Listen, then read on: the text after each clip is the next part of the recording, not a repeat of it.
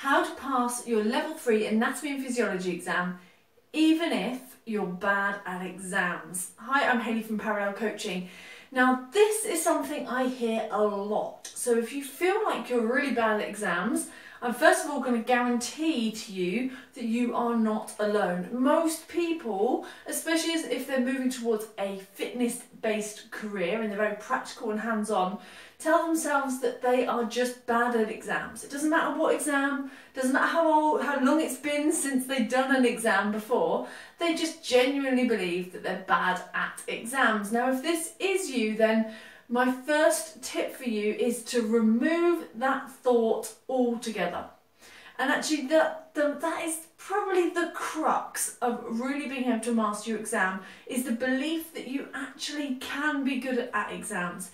Giving yourself that acceptance and that permission to go forward and be great at your next exam. So that's the first step. And then the next step is to make sure that you're putting the work and effort in. So if it's something that you feel you're not naturally good at retaining information and then putting it in a written format, then actually taking your time can help, especially in an area that you maybe feel less competent in.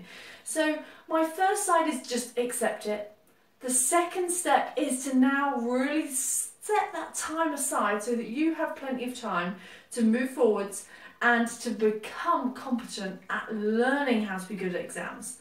And then linking to that, step three is all about making sure that you practice. So practice some mock questions because it will help you practice your exam strategy. So it's not that you are innately bad at exams and that's it for the rest of your life.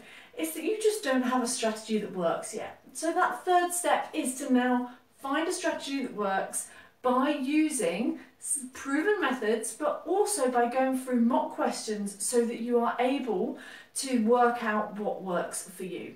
So they are my three steps to helping you pass your anatomy and physiology exam first time, even if you're rubbish at exams. Now, if you haven't got any mock questions to go and play with, then that's the first place I want you to go now. So in the links below this, you will find a free mock questions link. You can click into that and follow that through where you can download mock questions depending on the level of anatomy that you're doing or nutrition and also the different subjects. So whether you're doing level two or three as well. So when you're looking at those, go ahead and make that your own. Now also if you've liked this video, please do put a little thumbs up so other people know how that you've got information from it and also pop a comment below if it has been helpful. I look forward to seeing you on the next video and good luck for that exam. Not that you need it, because you are great at exams.